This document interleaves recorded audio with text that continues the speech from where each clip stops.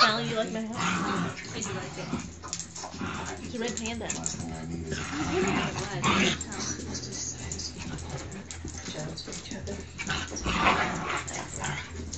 Sorry. Why do they have to put that at the beginning of every single episode? My file? Yeah. Because she's about, she's gonna find something else. The and I'm just sick of seeing it for like, because I think they're using four actually builds around the country that a story going. to.